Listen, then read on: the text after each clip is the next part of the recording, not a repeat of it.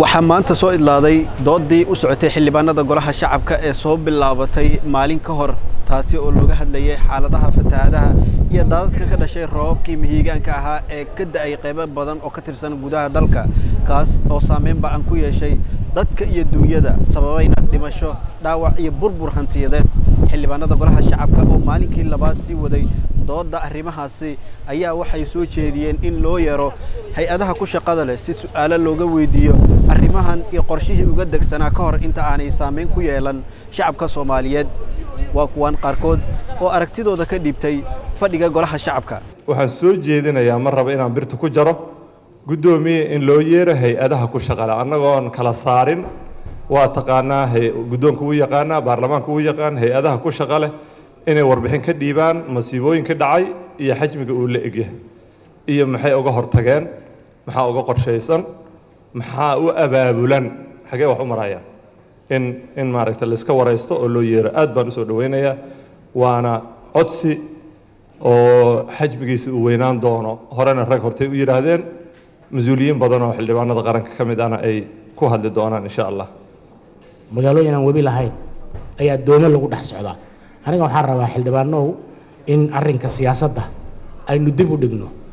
Waxaa kale oo jawaabta hadda aynu aynu ognahay in ra'iisul wasaare ku-xigeenka dalka mudane saalax jaamac wafdi ama guddi uu isagu u weyn yahay ay howlahan ku howlan yihiin in beesha caalamkana ay jawaabo ka raadiyaan oo waxay ka keeni karaan ka keenaan haddana ay maaragtay shaqo xoog lahayaan oo ra'iisul wasaarihii naftarkiisii hadda uu arrinkaa ku maqan yahay oo uu ku maqan yahay jubbaland uu u jiro shaqo in golaha shacabka mudane guddoomiye aan u saarno guddi arrinkan ka soo baaraandega maxaa la qabtay maxaa dhiman maxaa la qaban karaa xaggee waxay inaga jiraan guddi arrinkaa ka soo baaraandega oo golahan hadhow ribood u keena oo biriif gareeya.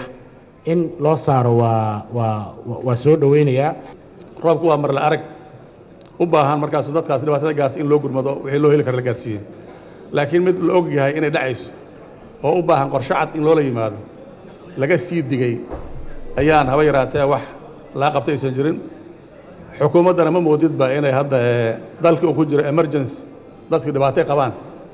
Ee waxay ku mashquulsan yihiin cambayn kale oo aan hadda xilligiisi la gaarin dadkii dhammaanaya iyadoo aan juhdi la gelin golaha wasiirada shariirka ugu dambeeyey marna muhiimad lama siin dhibkaas dhacay in looga hadlo. Ee waxaa la siinayay waxyaabo kale oo ayadoo nabad leeyahay oo xilli kale la geli karo ayaa juhdi la gelinaya marka guddoomiye waxaan qabaa in arrinta miisaanka ay leedahay loo yeelo qaraar baarlamaaniya loo laga soo saaro meeshaan loo qoondeeyo miisaanid ugu yaraan buundooyinka dumay lagu dhiso walaalayaal haddii aynu nahay xildhibaano oo qodobka maanta ajenda halkaan aan u jeedno sababta loo keena uu yahay inaan fatahaadaha ka hadalno waxa ay tahay in annaga aan maxsuul ka soo saarno xal aan ka soo saarno. Annagu ma dhihi karno dowladduna waxba kama qaban sababta oo ah waxaan rabnaa annagoo caadifadda iska dhaafayn inaan ogaano. Wiil soomaaliyeed ama hooyo soomaaliyeed qof muwaadin ah ama mas'uul ah ee maanta fiirsanaya ma u malaynayo inuu dhibaato la eeganayo asagoo awooda inuu wax u tari kara. Waxaa markhaati ka nahay hay'adda maareynta musiibooyinka iyo gargaarka oo wakiil uga ah dowladdu in tilaabadii ugu habbooneed ama tabarteed intii la egeed inay qaade wareysiyo ay bixiyeenna ay ku sheegeen in gobollada dalka ay gaareen qeybo kale oo badanna in ay qorsheynayaan in ay gaaraan. Waxyaabihii ka dhacay deegaanada aan ka soo jeedno ama dadka ku waxyeeloobay ama dadka ku dhintay deegaankaasna kollaytaba ooyintu ma gaadho oo dadka jooga miyaa ma aqaano sida bannaanka loo soo istaagay iyo waxay ka xishoodaan. Waxyaabo badan ay ka xishoodaana jirto ay dhahaan. War ma ma samayn karno iyo kaamirooyin in loo wacdiyo in la khayliyo iyo in beel caalam ilaahay baryaan ilaahayna waa waa u gargaaraa. Laakiin wallaahi waxa ka dhacay waxyaabo yaab leh. In xoolihii biyo qaadeen inay ka samaysmeen degmo u dhow magaalada hobyo waxaa ka samaysmay waadi dar ilaahaya oo haddii aan idiin tilmaamo cabir ahaan ama riidkiis idiin sheego gaaraya ilaa iyo siddeed iyo toban mitir ilaa labaatan mitir. Ayaa samaysmay.